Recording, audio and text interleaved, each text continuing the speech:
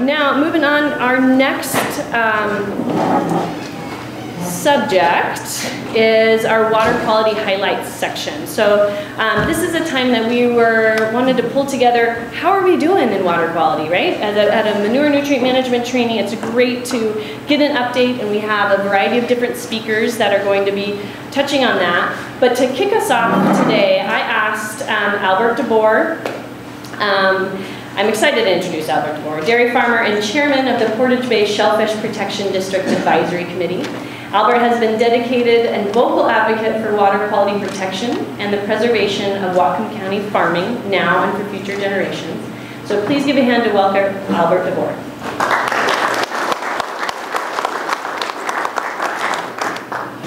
Uh, thank you very much for that welcome.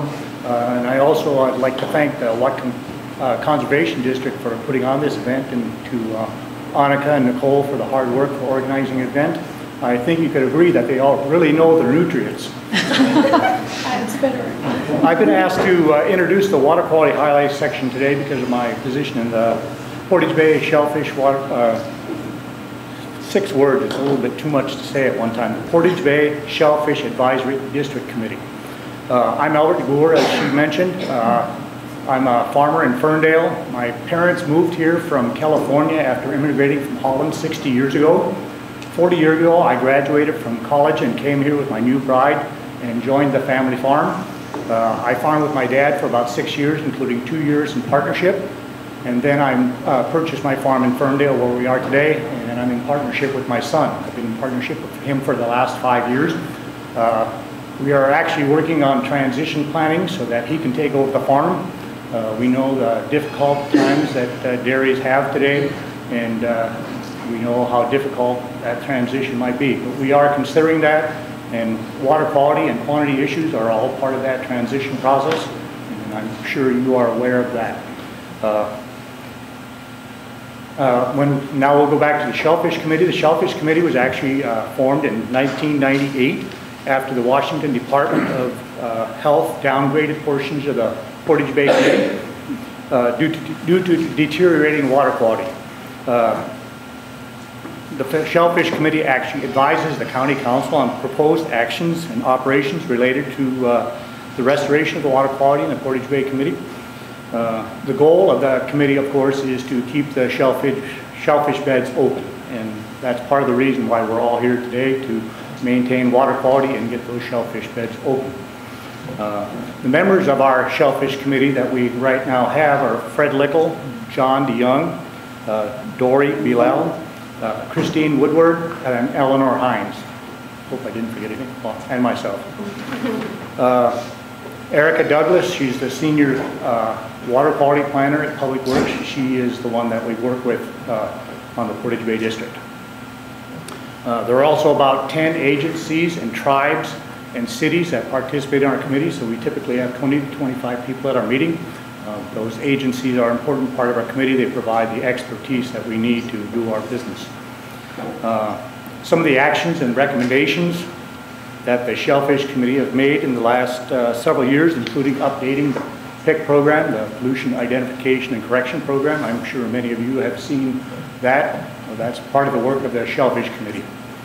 Um, we've also proposed that the uh, Portage Bay uh, watershed district or uh, drainage area be declared an MRA, a marine recovery area, and I'll talk about that a little bit a little later. And we propose that we hire a water, uh, water quality data coordinator. Um, Harris is the result of that, and I'll talk about that in a minute two. Um, all of these recommendations were actually approved uh, by the county council, so we're happy with that. Uh, for several years from 2010 or to 2014 or so, we did not meet regularly as a committee because of improved water quality. But since then, we've been meeting four times a year. At the time we started meeting again, they elected me chairman, and we've been uh, very busy uh, trying to do our work improving water quality since then. Uh, I think uh, one of the first things that we talked about when we started meeting was that we need to improve the confidence and trust of the community in the whole process. So the first thing we tackled was uh, the issue of uh, water, quality, water quality testing. I heard reports of uh, people taking samples and contaminating the samples. So we actually uh, provided education to people on proper water quality sampling protocol and uh, also encourage all the agencies that, in- that work with us on our committee to uh, make sure that they take the samples properly and and follow the whole process through. We thought that was important for building trust for especially the farmers that are, are uh, affected by all this. Uh, Second, we also committed to finding all the sources of, of water, uh, poor water quality. Well, everybody always talks about birds, but there's lots of other potential sources. Those sources include uh, cities, wildlife, including birds and raccoons, on-site septic systems, pets, farms, and water coming out of Canada. Some of those sources we had never even thought of uh, five or six years ago when we started meeting these. Oh, in connection with the on-site septic systems, I'd like to, you know, I just mentioned the marine recovery area. Uh, What that meant for the on-site septic systems was that every septic system in the, the Portage Bay watershed would be inspected every one to three years. Uh, Most of you probably got letters if you had on-site septic systems, uh, signed by the county executive and the county council. They, county council and executive were very, uh, good at supporting that. So hopefully that's going to help solve some of our uh, quality issues by maintaining our septic systems properly. Uh, Educate, oh, uh, the result was that most of the 30,000 septic systems in the county have been inspected or will be inspected over the next couple of years. Uh, Education and training was also supplied for those people who wanted to do their own septic inspections. And uh, if you do your, your own septic inspection, inspection, you might want to remember that they do audit that and check to make sure that you actually did the inspection yourself. Uh, Next, I would like to comment a little bit about our dairy, uh, our, our part in the whole process of maintaining water quality. We're at a critical time right now uh, for improving water quality. Uh, We hope to hear by the end of January whether the spring closure period has, whether that's been upgraded. But it depends on us to make, make sure that we maintain water quality. And also, we're rather disappointed in the November numbers for the fall closure period. So it's critical that we uh, do our job in maintaining water quality. Um, It's also important to the leaders that we recognized a little while ago. We, uh, they can hardly do their job if they don't have the trust and the confidence of the farmers here that we know that you are doing your job in maintaining water quality. Uh, So Whatcom Family Farmers, the Ag Water Board, and the WIDS, they all need to know that you're doing your job. Uh, And then, then they can go about their business uh, and uh, know that, that that's happening. I read recently that if you have a talented quarterback and you don't have a good offensive line, he would never reach his potential. You know, you guys are the offensive line. We need you to do your job. You know, and as a lineman, everyone has their job, and if somebody misses their, their key block or whatever it is, uh, it's a, not a recipe for success. So I encourage you to do your part. Um, Third, we recommended that a water quality data coordinator be hired. That was done. Uh, There are several databases and 800 to 1,000 samples that are taken every month. So it was very difficult to put them all in one area and uh, make them available to all the people that need the information. Uh, And there's also a need to get that information out in a more timely manner. So we, in a more timely manner.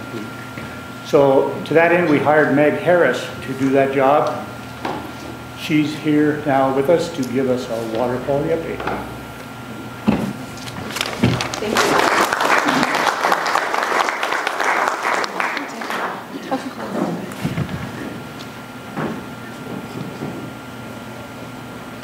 You, Albert. I need to push it. slide answer up there. Okay, okay. Thanks, Albert, and thank you for coming today, everyone. Um, Today, I have been tasked with giving you an update on where we're at um, with water quality around our county. Um, And I'm going to focus primarily on um, the Nooksack drainage in Portage Bay today. Um, I know many of you reside and farm in that drainage.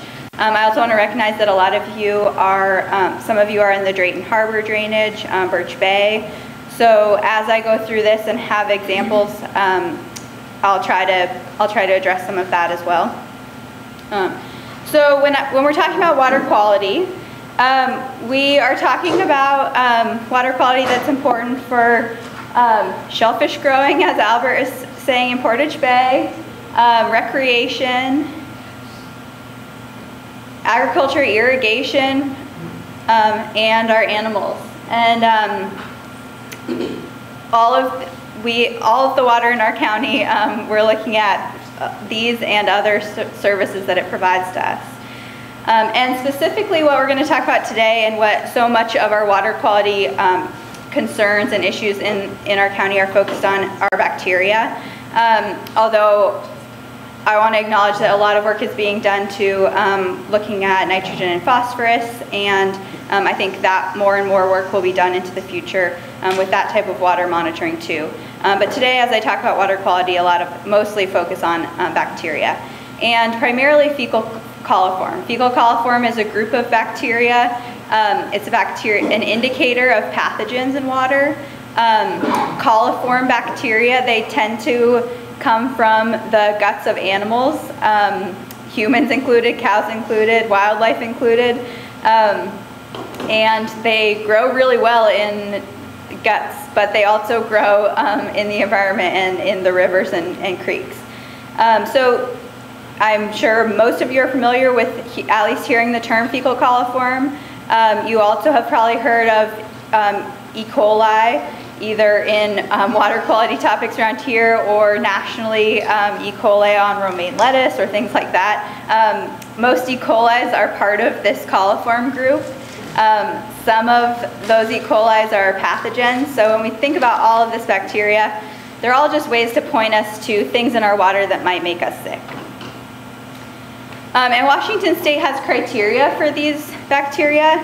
Um, and I'm just going to give you a few numbers so you can kind of get this into context. Um, I have a lot more information for you if you have more number, more questions about where these numbers actually come from or who sets them.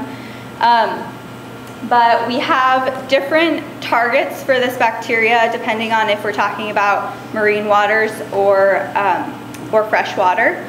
So um, in the marine waters, we're looking at, four, and we measure this in colonies, um, colonies of bacteria. Um, so 14 and is our average that we're looking for over um, a, a, longer period of time. Um, and we, we also have a second part to that criteria that is um, looking at like comparing a single sample to, um, to the number 43. So when we talk about some of these um, values or, or concentrations of bacteria, um, we're looking for something lower than 43 in our marine waters.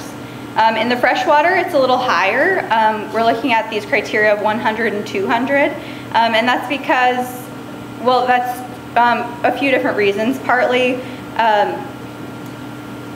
that's what's been deemed safe for people recreating in, in the river. Um, and we really need to drop that number down lower to be able to eat shellfish safely, which is why the marine criteria is set so much lower. Also, bacteria don't like to live in salt water. If you think about those bacteria living in our guts, they, um, they actually do have a lot of die-off in salt water. Um, and finally, I'll just add one more number to this, not to make it too confusing, but um, in, in about 2000, um, there, there was extensive work done on the Nooksack River to set targets so that we could say if we're meeting this target, then we're confident that we're keeping water quality safe for shellfish, and that target is 39. So you'll see some of those numbers as I go through this presentation. You've probably heard some of those numbers before. Okay, so with that, we have programs set up like the Pollution Identification PIC program to monitor our water quality um, to determine where we're at in, in relationship to these numbers. Um, and we have three different types of programs that I'm going to talk about. Um, and mostly this, you know, this is a broad range of sampling. Mostly I just want to give you a sense of um, what people might be doing when you see them out on the landscape um, sampling in ditches, bayou, or creeks or the river. So first we have our routine or ambient sampling. Um, I have a calendar here because this is pre-scheduled sampling. Um, it tends to happen, it happens once or twice a month, um, depending on what watershed it is. Um, and this is primarily the county, um, Whatcom County sampling.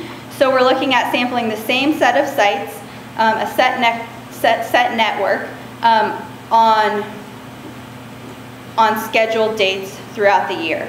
So we're getting 12 to 24, um, sometimes more samples from um, these sites uh, so we can look at trends over a year and over time, over um, five years historically, that kind of thing. When routine or ambient sampling identifies areas where um, we have higher counts, uh, the county has set up what they call uh, focus areas. So that triggers some work to sample more frequently and try to understand what the special conditions there are. Um, and also these focus areas are tied to um, outreach or um, efforts to put activities on the ground. So um, these focus areas get sampled weekly. Um, one, uh, one example of this focus area is the Fish Trap Creek watershed. Um, there's also some focus area work in the Drayton watershed. Um, and again, Whatcom County does, does the majority of the sampling, um, but there are some citizen science groups that also do that. So Whatcom Conservation District, we have a stream team that's been working with the city of Lynden to sample within the city limits of Fish Trap Creek, and they sample twice a month. The 10 Mile Clean Water Group, that, most, that some of you may know as well, um, does extra sampling in the 10 Mile watershed um, in conjunction with the county. That's another good example of this focus area work. Okay, and then finally we have our source identification and storm event sampling. Um, and most of this sampling is happening from um, State Department of Agriculture and Washington Department of Ecology.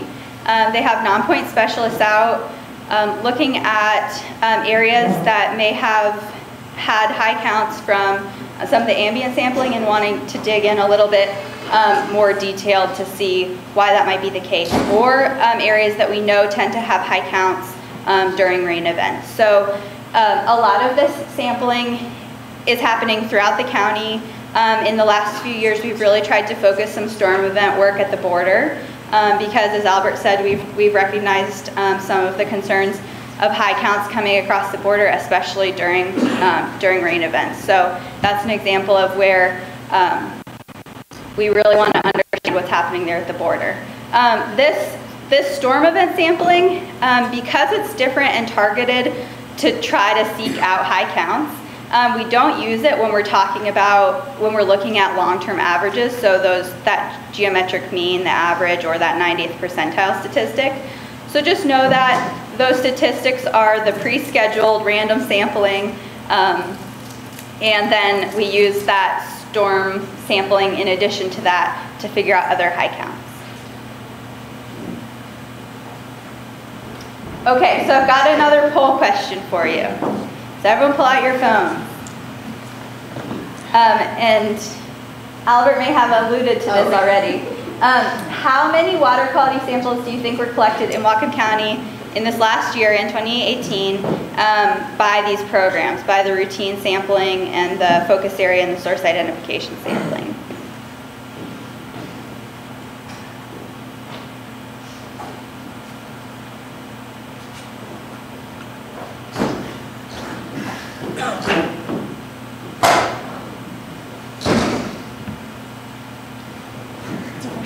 Nice. Okay, well, I think we have a strong winner there in the over 5,000 category.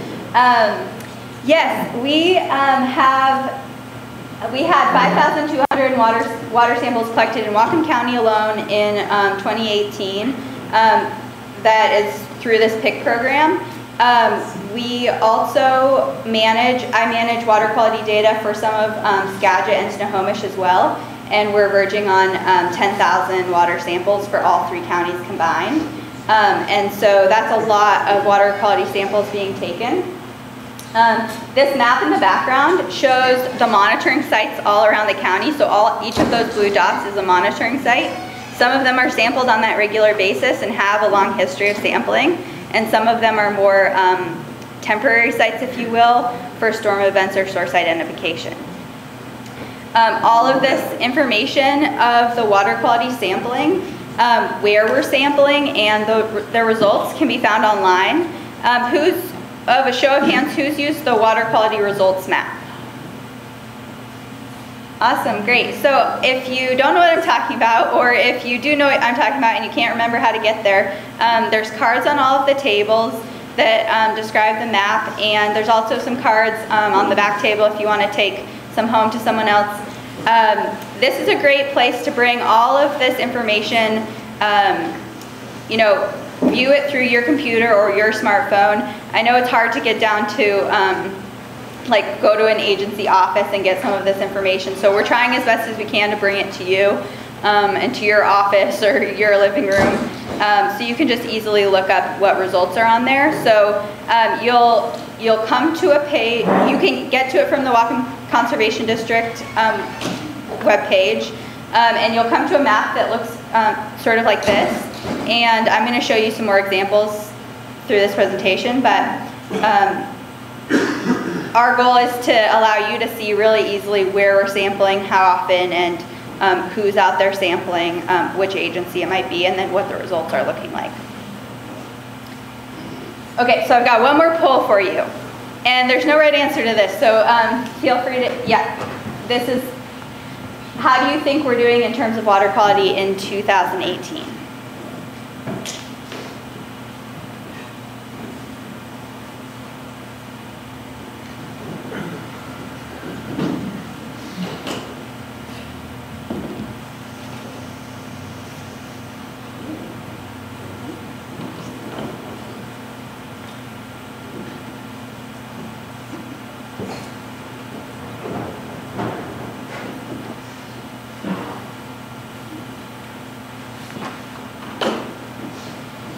Great, I appreciate the confidence. Um, so, so 60% of you um, feel that water quality is improving, and I'd say you're absolutely right.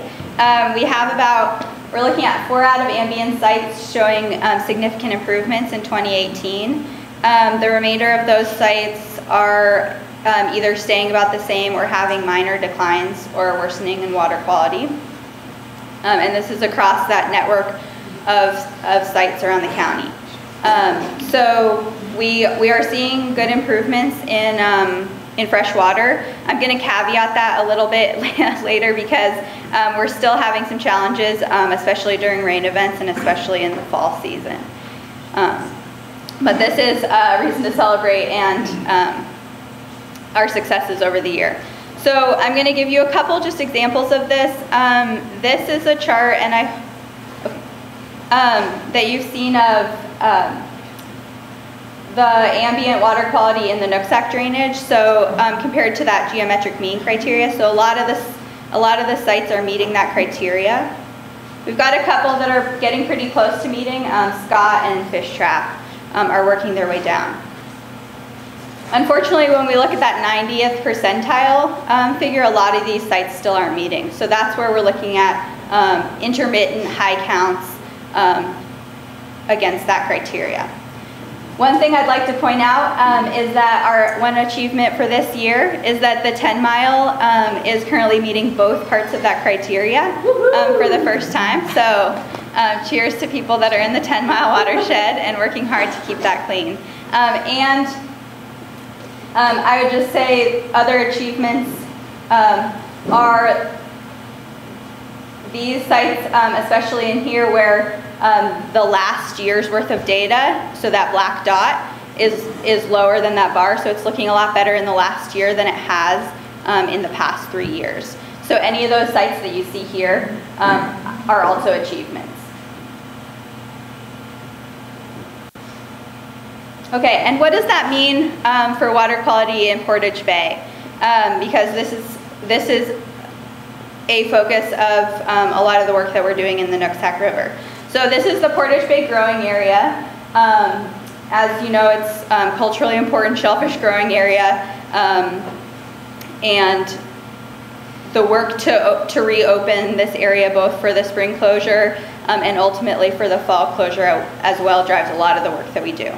Um, so here's a graph of these sites in that closure area over time from 2000 to now. Um, you can see some really um, high counts here, lots of improvements. Um, in, in this period here, we had worsening water quality. That's where Albert was talking about reconvening the Shellfish um, Portage Production District um, and improvements in water quality since about 2014. Um, unfortunately, and I hate to be the, the bearer of bad news, but we've had um, a pretty challenging fall, um, and we've had some high counts that have brought these numbers back up. Um, a couple sites in specific are precariously close to that value of 43 that we're trying to avoid. Um, and I'm going to give you a couple of examples of those, um, but this is some reason for concern, and um, it's, it, Department of Health is going to take this into account as they're thinking about reopening that spring closure period. Um, so this is disheartening, but I think it's there's specific things that we can do to address this and, and have that turn around a bit. Okay, so as I've said a few times, fall is a critical time for water quality, especially in Whatcom County and Western Washington as a whole. We get a lot of rain, as you know. Um, so we're talking about rain on areas that have had um, applications in the spring and early fall. Rain on areas where animals have been out or are still out. These are photos from this last fall. And rain in areas um, around roads and urban areas um, and just a lot of water on the ground. Um, this is the rainfall from this fall, and I'm going to focus on three events and just um, give you a, an example of what's been happening. So um, we had a big rain event, like right around Halloween, um, over two and a half inches in 72 hours. You guys probably remember that one. yeah. Um, we had a rain event December 10th um, that was less rain, uh, about an inch and a quarter, but it was after a period of about a week of dry. And then we had another big rain event just recently um, at the new year, about two and a half inches of rain um, in 72 hours again. Um, and I, am pointing these out because I want to give you a couple of examples of what water quality looks like around these rain events. Okay, so this is that Halloween storm. Um, and this is a screenshot of that water quality map that we've been talking about. So um, many high counts, um, especially counts over 5,000, um, which is pretty high for this area, um, kind of dispersed through the county and, and high counts in um, the main Nooksack River of 100. So remember, we're looking at trying to get this number of 100 down to about 39. This December 10th event was a little bit different. Um, we have sampling across the border and at the border that showed very high counts coming from um, BC and running their way down the down the Fish Trap Creek. Um, we had low counts in a lot of the north-south ditches, like especially in the um, North Lynden Wid and areas that we've really focused some work. Um, and so that's really great to be seeing low um, water quality on our side of the border, even if we're getting um, big pulses down through Canada. Um, sometimes it's challenging to break those apart. And so in this example, um, we can see that moving through. Um, and finally, I'll um, give you this last example of January 2nd. So um, in this example, we had some high counts, especially in Scott, Cougar, and 10 Mile.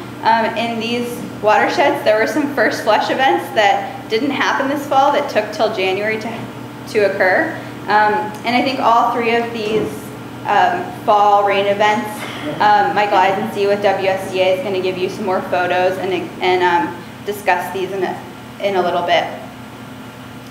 Um, but as you can see, all of these are, um, you know, periods where we have precipitation, bacteria in our waterway from different sources, some of which were dairy or non-dairy livestock, others were not. Okay, so with all of this information, we still have um, we still have a lot of questions, um, as you do too probably. So um, questions like what is the Canadian influence? What's the contribution of septic systems? Can we measure this bacteria in real time and not need people going out on the landscape taking bottles of water and driving them to the laboratory? How long does it take for bacteria like this to move through a system? What's the contribution of wildlife, birds, raccoons? Are there other sources that we haven't even thought of yet? Um, how long does that bacteria stay in Portage Bay? And what's the urban contribution um, from areas like Lynden and Ferndale? So the good thing is we have a lot of questions, but we also have a lot of tools. Um, and so I want to just give you some examples of what those tools are um, that we can put into our monitoring toolkit as we're moving forward. Um, and I hope to come every year to this with um, more information about what these tools have answered for us in terms of what these sources might be. So um, tools like border sampling, um, we've started partnering with, um, with water quality partners in British Columbia, and now we're sampling um, at specific sites along the border, and they are as well. They've brought in some of their work in BC and doing some compliance work as well. Um, so that's a really powerful tool of collaboration that we're um, working with them.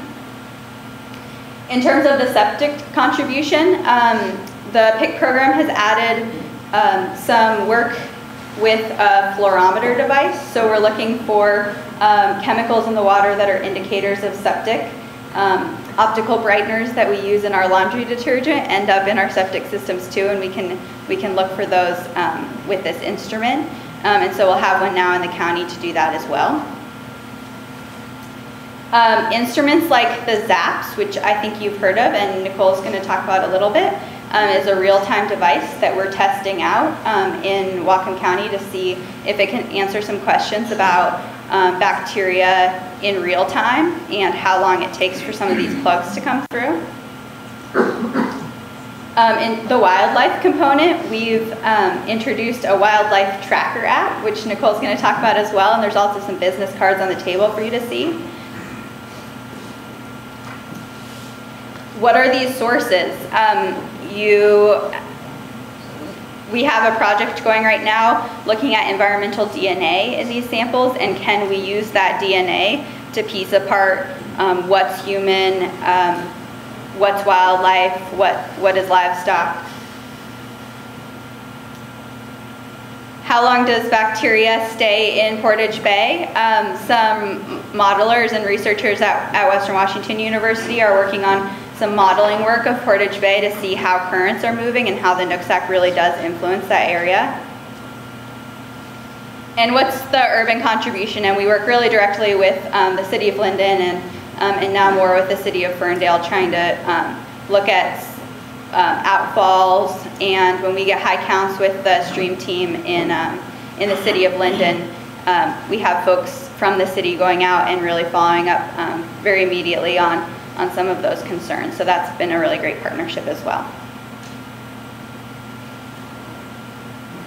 And finally, I just want to close by saying thank you. Thank you for all the work that you have been doing um, to improve water quality in our county um, and to see some of these um, reductions in bacteria at these sites all across the county um, and in Portage Bay as well. And I hope that you um, continue to do that work um, and we'll work with other partners in different sectors um, to address some of those other, um, you know, septic concerns, non-dairy livestock, that kind of thing. Um, but keep it up and we'll continue to see improvements and hopefully see us swing back around in that um, marine water quality as well. You can take a question Yeah, Jeff. What, what do you guys figure your lab costs on each water sample is? That's a good question. So um, to test for fecal coliform is about $20. Um, when you add E. coli, it jumps up to 30, 35. Um, so times uh, 5 to 10,000 is a lot of money. but um, it's also approachable. It means that um, if there's a specific area that we're interested in, you know, a couple of samples, um, you could, you know, you could get a good sense of a site within $100. Um, when we're talking about that DNA work, uh, that price jumps up pretty significantly into the couple hundred dollar range. Is that just the cost of processing the sample, or is that including the cost of actually taking the sample to? That would be the laboratory cost. Um, the sample, yeah, taking the sample cost would be staff time, so I guess you could divide that out. Um, a lot of these days, you have one agency staff taking about like 25 to 30 samples. So if you thought about um, someone's time paid by the hour, you could do the math. Uh, yeah, in front. Is uh, all the sampling being done in one lab, or is there like exact and what's the other one, Ov- Ovised? and Yeah, good Does the state do their own, Yeah, so. or is it all through one? Yeah, so um, there are a couple different laboratories we use. There's two in Whatcom County now, um, Edge Laboratories and Exact. Um, there was a third for a while. Um, both of those labs are used um, by, by the programs here. Um, they're both accredited um, and certified for these um, laboratory analyses, and we've done quite a bit of work um, with comparing the results both um, between agencies, so ensuring that like field staff are collecting consistently, and between labs. And we have some, we have good confidence that the labs are giving us the same results, so we consider them, you know, one to one. But they do have to go through process of like um, recertifying every year, making sure that they meet criteria. They get like um, blind samples that they need to test and have it in a certain range. Yeah. You mentioned the target of 39. Where, I didn't catch where that, where where you're expecting 39 to be. Yeah, so that would be 39 um, at, well, really anywhere on the lower Nooksack River, so from about Ferndale down to um, Bellingham Bay. Um, Ferndale, there's two sites that we consider the lowest sites on the river, um, one at Ferndale and one at Marine Drive. And the goal would be for both of those sites to be lower than 39, and they currently are. Great, thank you guys. And as always, if you have other questions, come find me during the event or um, my email address is on some of these business cards floating around. All right, thanks, Meg. Um, so we're gonna start off with, um, another polling question for you. Um, which of these sources that's up here do you think is the biggest threat to water quality in your watershed? You can just pick one. It's just a curiosity here. So there's human, non-dairy livestock, wildlife, dairy manure, waterfowl, birds, that can be barn birds too, uh, pets, or Canadian sources, knowing there's a lot more, but this is just uh, get your brain warmed up.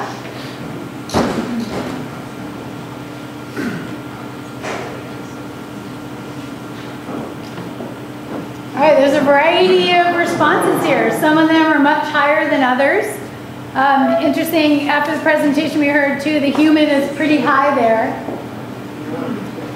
That would be like a septic component or otherwise. Um, so the, the answer to it, it's interesting to see you guys respond to this question, knowing that it could be any or all of these, right? Um, as we've just heard. And the other kind of part of that too is that if you just heard there's doing E. coli or fecal coliform testing, but we don't actually quite know which of these is it, right? Some of it is guessing, some of it is trying to bracket and do a specific point, but it's not easy. And so we've got a new project that's underway currently for actually developing a catalog, a fecal source catalog that then can be used that when we get a water sample, we can determine the bacterial DNA in that water sample that matches up with a specific source. So this is a pretty cool project uh, with Exact Scientific, uh, Practical Informatics, and the Whatcom Clean Water Program and all its different uh, supporters and partners in the Whatcom Conservation District. So the Whatcom Conservation District gets the pretty glamorous job of going out and getting all those fecal source samples. Uh, the lab gets the second most glamorous job of actually analyzing them. And practical informatics is the one actually doing this whole big signature of what a bacterial source looks like. So you can think about for each of the things we look at, it's like creating a, a, unique fingerprint so that when we get a water sample, we can look in there and say, we see a human fingerprint, we see a beaver fingerprint, we see starling and so on. And so what we're, um, the goal is to number one, develop that catalog. You guys might have been aware last uh, year or two, conversation about one of these kind of microbial source tracking projects that happened here in Whatcom County where um, the Lummi tribe was assisting DN or assisting uh, EPA in collecting samples.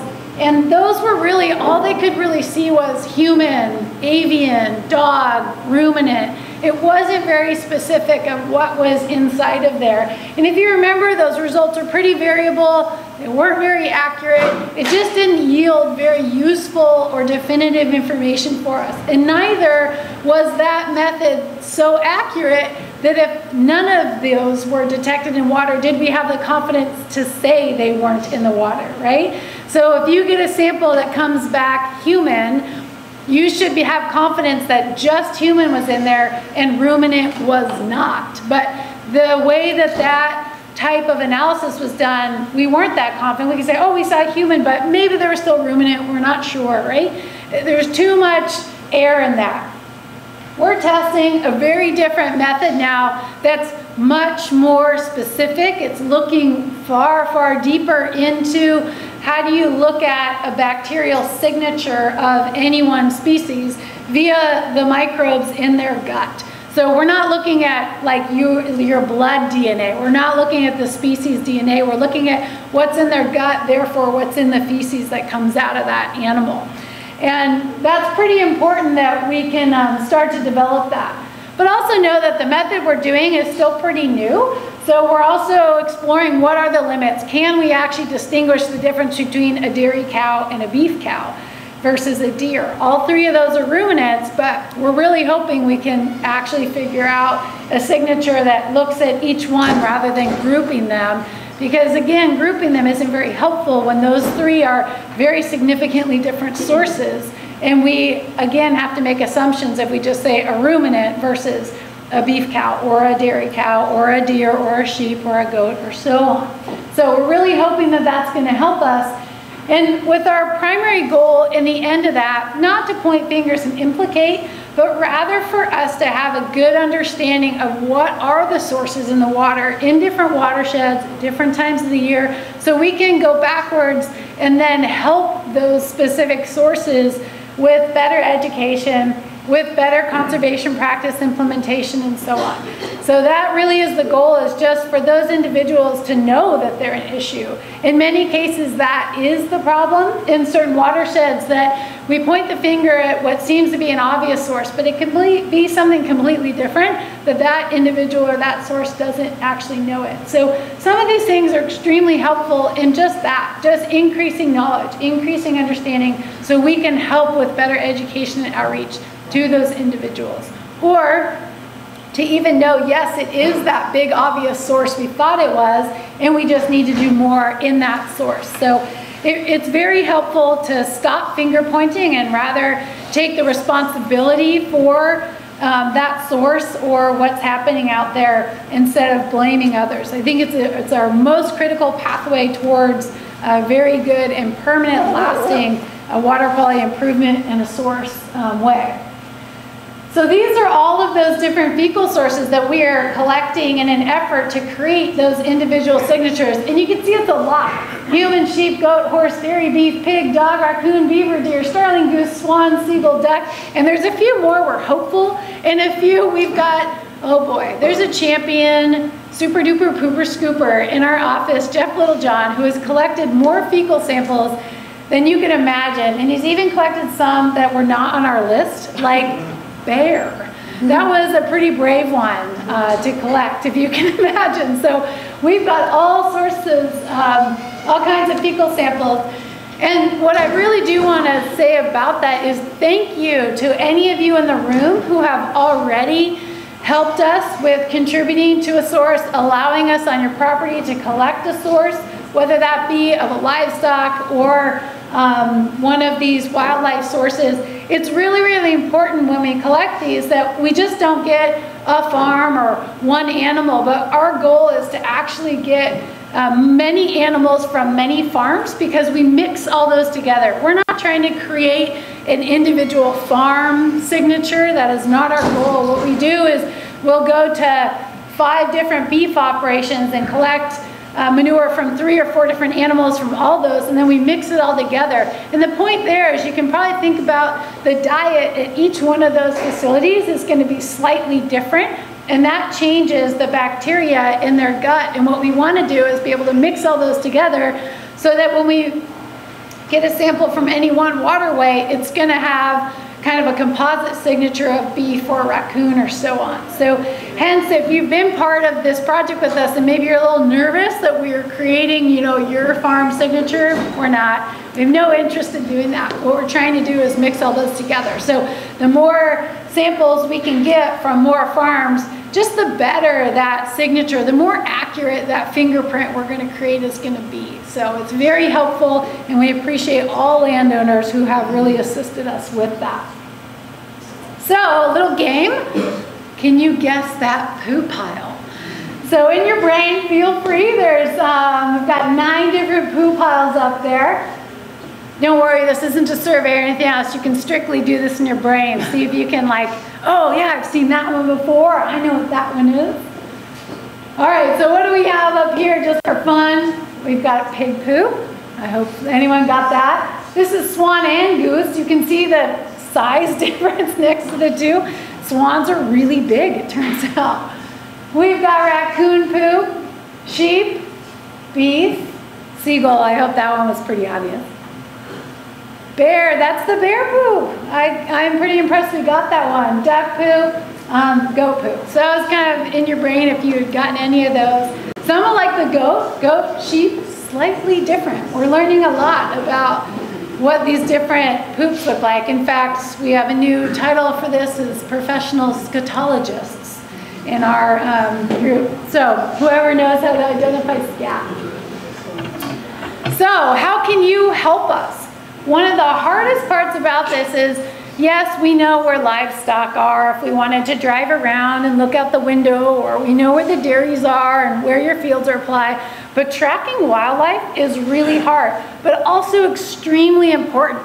Let's say there's a high count in a watershed and it's December. No one's putting manure out there. All the animals are inside for the winter. Your septic maybe is, is running the same. What could it be? Maybe you as a landowner or a farm in that area say there are 2,000 swans sitting in that ditch right now. Or there's been this beaver dam and it's, you know, there's four or five beaver in there, so on and so forth. By you helping us by tracking those things, just putting them in an app with a photo or just the location and the time of year, we can start to get a better idea of wildlife kind of their patterns, especially uh, waterfowl. What are their migratory timelines? When are they in watersheds? That may explain, help us start to explain those high counts, those bursts of high count. And or for us in the wildlife tracker, when we are like, wow, we really, we need to get a beaver sample, where are those little suckers? We can look on the map and say, oh, look, here are three different sites. Give that landowner a call. Hi, can we come get a beaver sample off your property? Greatly appreciated. So this is a really fun way. And it's very easy. There's a little card on uh, the tables and more at our information booth about how to access this little, I apologize, we couldn't make any easier of a website. But once you're in there, um, what it looks like is you'll see a screen like this. It's pretty easy. You can just click this button. It puts where your location is. And there's just a couple questions. What date did you see it? How many, what species was it and how many? That's it. So it's totally anonymous data goes in there. And uh, when you're driving around the county, you can log it if it's on your own property, deer, um, uh, etc. And so you can see, I realize these points are small, but here is all of the different wildlife sightings that have been logged into here. You can see it's a lot. It's all over the county. It's pretty cool to see this stuff come in.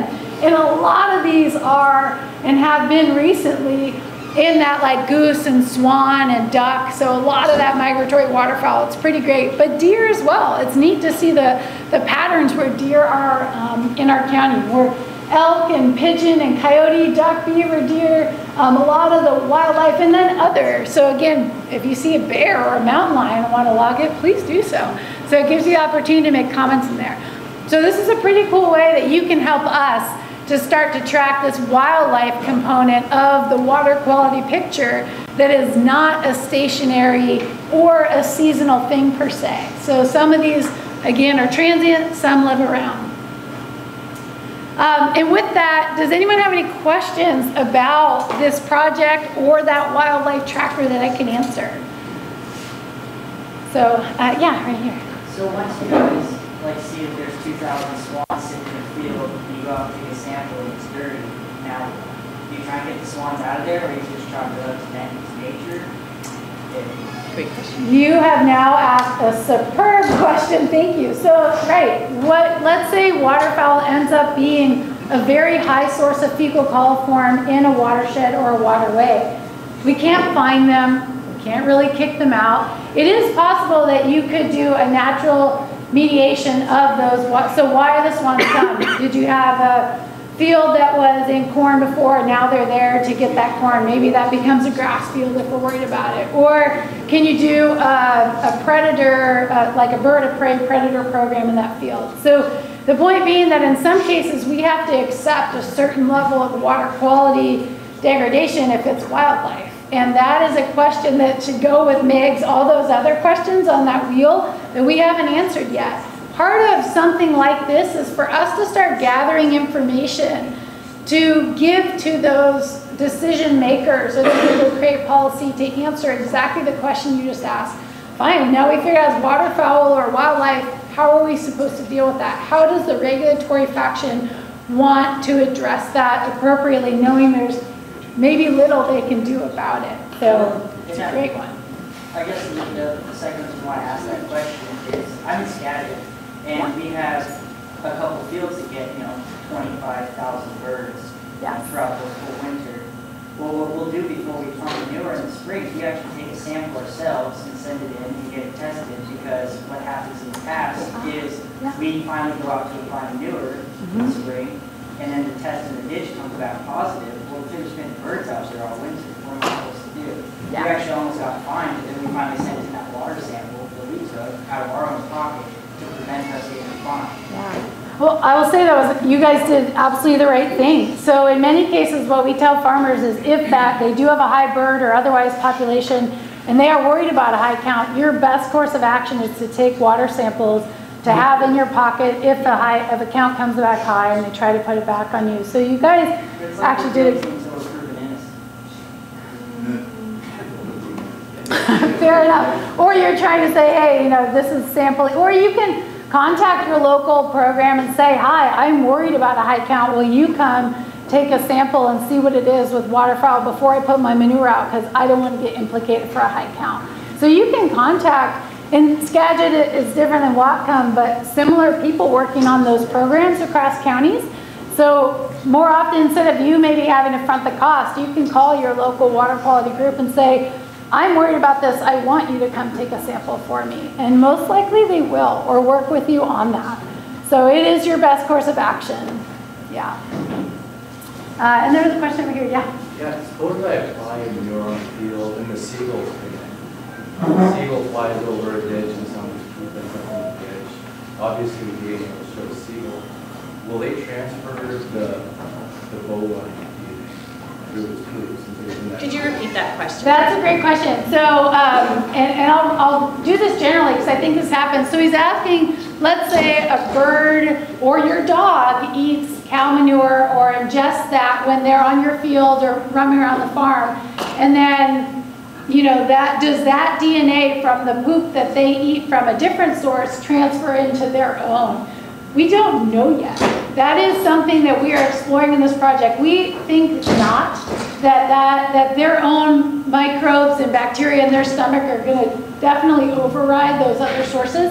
But it is actually something we are exploring in this program to answer that, because I've had that question asked a lot, you know, and, and it's a very important question for us to know. That is there transfer of you know, this bacterial DNA if, if another source ingests it and then it goes out. So that, you know, a few seagulls is probably not going to be a significant kind of bacteria raiser, but it's important for us to know that. So will it come up as one signal when it's been contributed by something else? Yeah, great question. So I'm going to transfer to our next speaker, but I will say, if you have any more of these questions, please talk to me afterwards, mostly because sometimes you guys have questions maybe our project hasn't thought about, and you give us a great way to think about the data, reinterpret it, or hopefully this time next year. This project should be ending in about July timeframe, and so we'll have a full project report out to you, or maybe we're even taking some great water quality samples and getting these answers by our next event next year. But um, please come talk to me anytime about that project. And you, ma'am. Awesome. Okay. Thank you, Nichole. Keeping things moving. How's everybody doing? Take a big stretch, arms up in the air. Oh, yeah. It's actually really cold in here, I think, but we're working on that. Um, so uh, I was asked to talk a little bit about what Whatcom Conservation District and others are doing about water quality in those other sectors that we just mentioned. Um, so I'm calling this water quality protection beyond the dairy. Um, and is a lot of what Nichole just mentioned. So um, I'll be showing some of the um, educational and marketing tools that we've been using to promote best management practices and behaviors for some of those other sectors that we talked about. Um, so again, Whatcom Conservation District, our mission is to assist landowners with their conservation choices. We've been doing it since 1946, and that means a lot of things. Yes, we have a large nutrient management program within the district, but even larger is our education and outreach program that has primarily been focused uh, most recently on non-dairy livestock um, potential pollution sources. So we'll be talking about that as well. Your dog, your duty. Um, pet waste is, is a big issue in Whatcom County. Uh, the last census came up with about 48,000 dogs in Whatcom County. Um, and each of those can produce up to a pound of waste uh, every year. And so there's uh, lots of different promotional campaigns, specifically in the city of Bellingham has been doing probably the most. And then this last year, City of Lynden really got on board. You may have noticed these signs that popped up along the Jim Kaemingk Trail, right along um, from the Lynden City Park up to Bender Fields. There had previously been no information about actually picking up dog waste. Everything that it said there was simply leash up your dog. Um, so we installed these signs in cooperation with the Lynden Christian School. So we got some students out there to, to dig those signposts in. It was a really fun project. And we have about 13 new signs and six new um, bag dispensers along that trail. Um, and then we've seen, we did an evaluation of the amount of dog waste we saw on the ground, season to season, year to year, and we saw a significant increase in the amount of pet waste that was being picked up. So not left on the ground and picked up and not only put in a bag, but also put in the trash, which seems like to be such a barrier for folks. So we're trying to make that uh, a more accessible tool. Keeping wildlife wild. Um, there's, we have social media memes, we have stickers, and a new Rascally Raccoon game that we've been promoting at some uh, family events that focus really on deterring wildlife in your own backyard to allow them to not be habituated to human food primarily. Um, so a lot of the outreach materials talk about um, containing your pet food if you leave it outside because that really attracts raccoons, possums, etc. And ensuring your trash and compost can't be um, easily accessible to those animals as well. Giving them an unnatural food source keeps those types of animals around. And raccoons are known to defecate in latrines in um, watered areas, so in and around streams. So this is a really important tool, and if you hear people feeding raccoons, please mention that they have uh, bacteria associated with their poop and you would prefer them to not feed those raccoons, even though they do seem cute, but I don't think they're very cute. They're kind of gross. Okay, pump it, don't dump it. Um, our, in 2018, the Puget Sound became a no discharge zone, which was sort of a no-brainer to most of us. Um, but now it's enforced that you cannot discharge the sewage out of your bilge tank and your boat. Um, and then Drayton Harbor and Squalicum Harbor have now purchased and installed um, mobile pump out stations for marine users. So you don't have to pull up to an area to, to pump out that tank, but you actually, there's a mobile unit that can be kind of taken down the dock and directly to your slip. Um, which is a huge improvement um, in and around those marinas septic systems. You're gonna hopefully start seeing a lot more um, billboards and flyers, uh, hopefully postcards as well, and a lot of social media around um, septic system evaluation and inspections. So there's about 30,000 septic systems in Whatcom County, which is a whole heck of a lot. And a lot of them might be getting to the point where um, their use is questionable. So Portage Bay, Drayton Harbor, and most coastal watersheds have now been designated a marine recovery area, and Albert DeBoer talked about that briefly. And what that means is now it is required that those systems are in compliance. So that means that every one to three years, depending on your system, that you would have to get an inspection or evaluation that is registered with the um, Whatcom County Health Department. And um, I just got this stat in that last year, we've, we've had um, a great amount of improvement in outreach and education around septic systems. And just last year, we had almost 4,000 septic systems brought into compliance um, of those of those 30,000. So that means that doesn't mean that the rest of them are not in compliance. Um, but that is that's a huge amount that every year, or if we get that amount every year, that means that most of our systems are going to be in compliance. And what's really great about this system that Whatcom County has set up now, we were able to um, sort of negotiate and get some grant funding for rebates for homeowners. So um, if you attend a homeowner education course, um, to do it yourself. You can do your own septic inspections if that's something that people are into and, and or qualify for a $200 rebate for an inspection or pumping.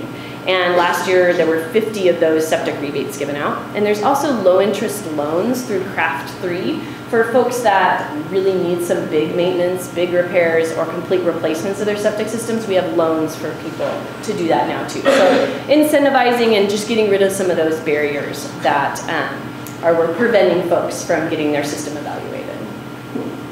So um, like I said, a lot of our education and outreach has been focused on um, our non-dairy livestock producers. Um, and so these are just, this is our infographic on what are some of the common best management practices that when our farm planners go out and talk to folks, they're really starting to encourage some of these practices similar to what folks are doing on, on your farms.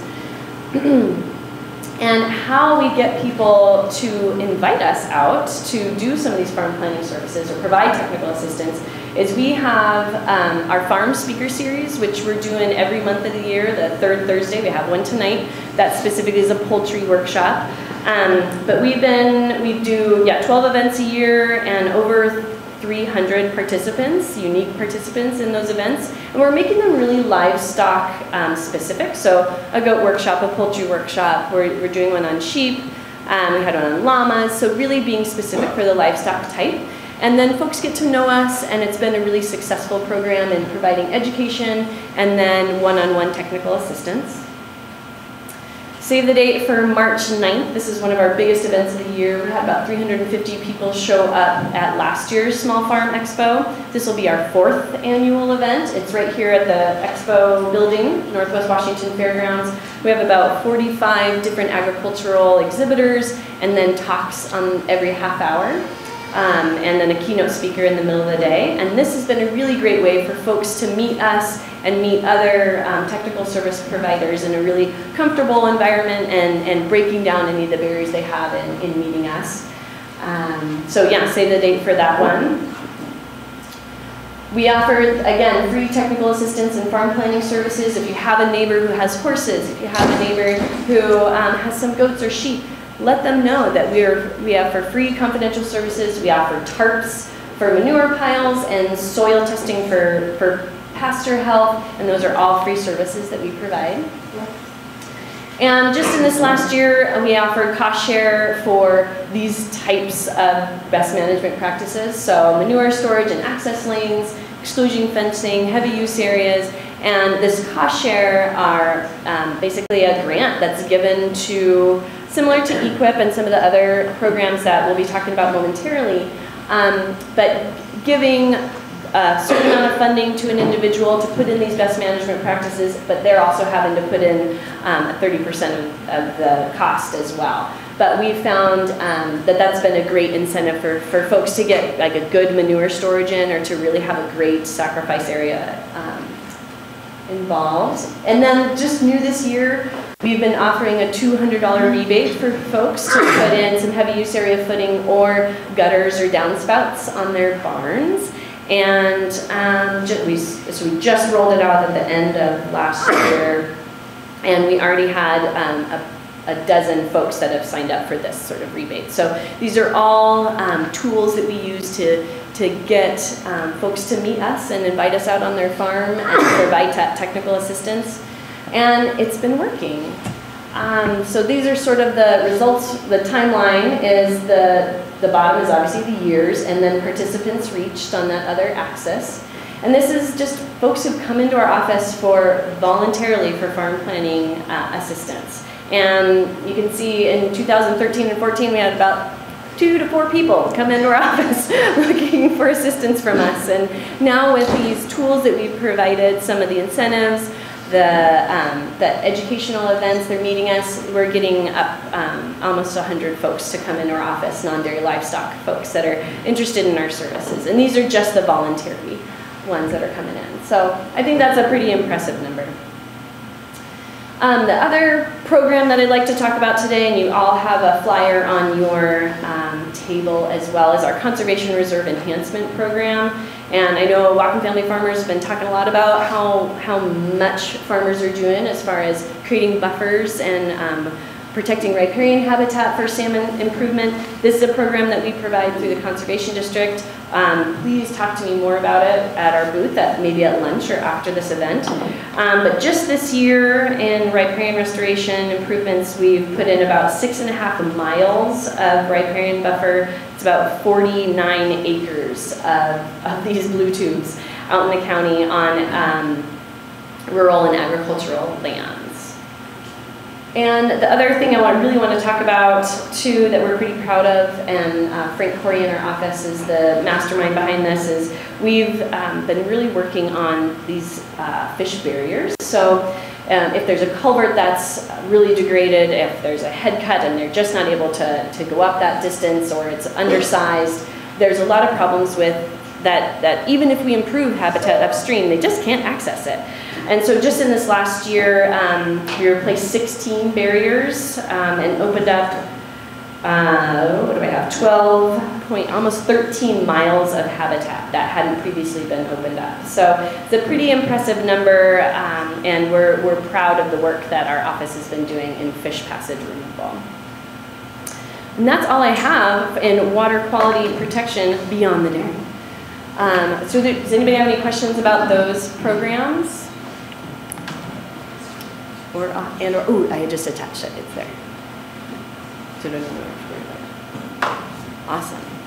So I want to talk about another award that was given out, switching gears, we're transitioning. Um, another award that was given out just this year, and it was a nomination by the Whatcom Conservation District, uh, was awarded to, to Western Waves Dairy in December of 2018 uh, Western Waves is awarded the Drayton Harbor Watershed Steward Award um, for their commitment to on-farm stewardship and contribution to nutrient management research in Whatcom County.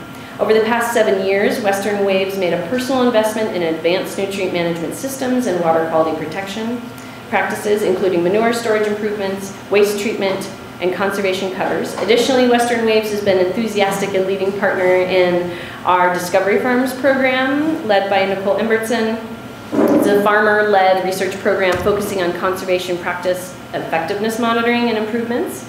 And the cumulative contributions made by Western Waves to water quality protection has gone a long way towards improving Drayton Harbor watershed, and we greatly appreciate all the efforts that they put in. And here is uh, owner Bill Wagren and Kevin Doherty accepting the award in, at the Drayton Harbor Celebration this year. And um, I'd love to bring Kevin up, and I have, a, I have another t-shirt for you. so let's give a big hand to Western Waves.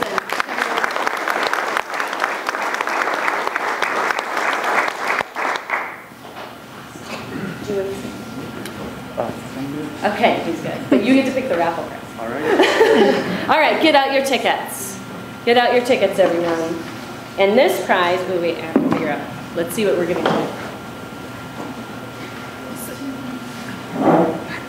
Two. We have. Oh, this is awesome. Okay, you get a Whatcom Conservation District hat, very stylish. Um, it is blue with white letters, and a gift certificate to hardware sales for $25. Which is, was generously donated. All right, Kevin, you get to choose. Dun, dun, dun. Okay, the last three numbers are 783. 783. You have to be present to win. 783. 783. No one? Oh, there he is in the back. Awesome. And let's give a big hand to Kevin Mr. Riggs.